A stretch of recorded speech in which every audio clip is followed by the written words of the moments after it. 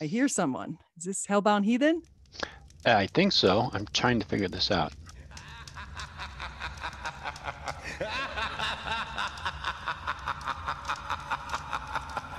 You don't believe that. Now, do you believe, let me ask you this, do you believe in uh, space aliens?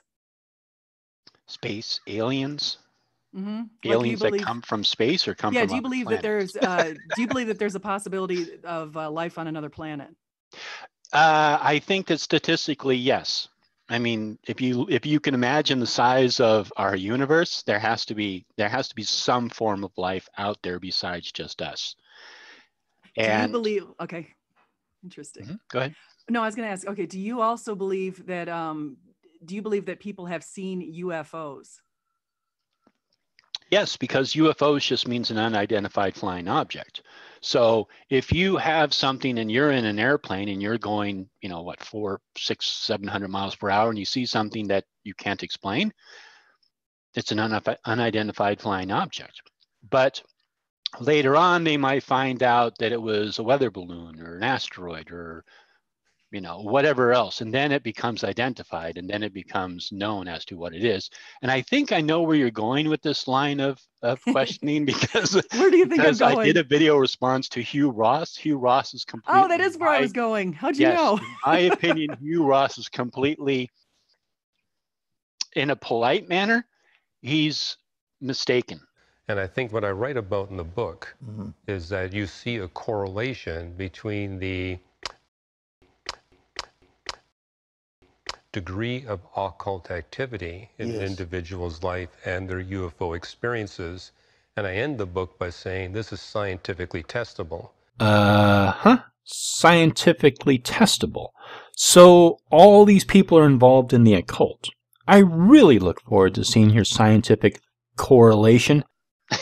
he's Well, he's so mistaken let's so let me have you do a response here i'm going to tell the audience what i was talking about so i, I know Okay. you know where i'm going and then we, you can tell us what your response was to hugh because i've read a lot of hugh's books i've read like five of his books and so that is where i was going so so Mm-hmm. what hugh ross did is he looked at unidentified just like you're saying with ufos the vast majority of these things are things like weather balloons or something in the the sky something that could be explained naturally and so uh, or just by man-made in some way. But then there's these what he calls residual ufos and this idea was um, according to hugh if you calculate the odds i mean if you actually just look at um, all of the other planets that we're able to see uh, for space aliens or for life on some other planet to be able to reach us uh, really is virtually impossible because if if it's carbon based life and it only lives for you know a maximum of maybe 110 years uh, or maybe 120 whatever it is then you you can't even travel. I mean we we can go uh, hundreds of thousands of, of years away to be able to get to the planet planets that we can't see that there would be a possibility for life to exist in another planet because the ones we can see we realize that they don't meet what they call the 10 habitable zones and so they don't have the ability to produce advanced life the ones we can see. So the reason i was asking you that is because we have these reports of what they call residual UFOs, and in residual UFOs, there's this idea that um, uh, that what Hugh Ross thinks is that some of these these interactions that people have had with these very negative The closer the encounter that people have with UFOs, Yes. it's 100% deleterious. Nobody has a positive experience.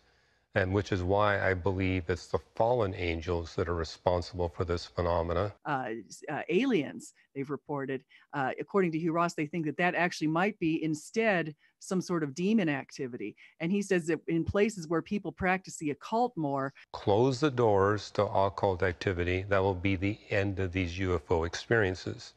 The reverse is also true. If you open up these occult things, uh, don't be surprised if you get these kinds of visits, and it's not going to be pleasant.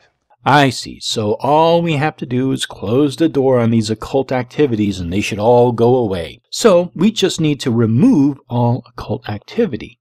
How could we possibly make this happen? we see more of these reports of residual UFOs, and they tend to occur right around two or three o'clock in the morning. And so, uh, so I'm curious to hear what your response is because that was to him that was because we can't get life from other planets because there's no physical way for life to get here from another planet. Um, because if we look out far enough, it's hundreds of thousands of years away to be able to get to this other planet. And so, because of that, he says it must be something from another dimension. And he says people have been physically hurt by these residual UFOs and uh, these these aliens who've abducted them in some cases. And so, um, so I'm just wondering. And actually, I've talked to people uh, there was a guy called Gonna Go For It who used to come on my, cha- my channel a couple of times, and he said that he uh, met up with an alien and he lost like a, a day of his life. He, he couldn't figure out what happened to it, and uh, and some negative things happened to him. And so uh, so I found that kind of interesting. So I actually had somebody on there, um, but I'm wondering what what your response would be to that. Like, what do you think it could be, or do you just think that it's all washed up? These people are pulling it out. well, I did. I, I, did a whole video response to a Hugh Ross's interview on uh, the 700 Club several months ago. Mm-hmm. Um, so, first of all, I do believe that there is alien life on other planets. Uh, as to whether or not they've traveled here, I I would say 99.9% I don't believe that they have. Obviously, I'm going to leave that one 0.1% window open because I don't know for sure. But um, yeah, I don't believe that we've encountered alien life yet, or alien life has encountered us. Um, and Hugh Ross, I don't know what he was citing as a source. That was my main complaint with him was he was making these claims. He that sounds okay, it sounds, you know, sounds about right, but I don't know what his what his, what he was using as a source. He mentioned Russia, and Russia did do, and also the American uh, uh, the American scientists also played with uh, remote viewing and uh, which is you know clair clairvoyance or astral projection or whatever they believe it was. You know here's how you can put it to the test scientifically. So i actually say these are ways you open up doors to the occult it also explains why, for example, uh, you know, I spoke on UFOs frequently uh, in the Soviet era in Russia. And uh, that's when the scientific community was involved in occult physics. And that opened up the doors for these demons to influence and explains why they're having way more UFO experiences. And I know that he was saying that because Russia did this, that somehow it opened up some door to the occult. And again, there was nothing to substantiate that. There was no there was no supporting evidence, and uh, so I think that Hugh Ross is making up.